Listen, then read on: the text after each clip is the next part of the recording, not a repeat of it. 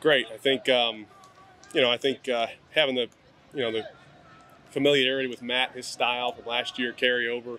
Um, you know, there, like I said, there's some new things.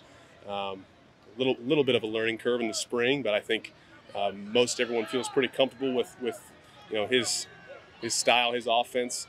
You know what what we have in, and now it's just about kind of getting better. You know, he, he's he's very big on what you know. We're going to run what the players are good at, and so um, he's he's asked the quarterbacks to hey, give him a menu of you know plays that you like, and he, he really does a great job of you know scripting things that we like to run. So you know we appreciate that as a quarterback. Yes, yeah. Every day, you know, we're we give him feedback, and, and he he likes that, and it's it's a you know been, been a good relationship. It's an entire, entirely new offensive line. Can you provide any insight into this group?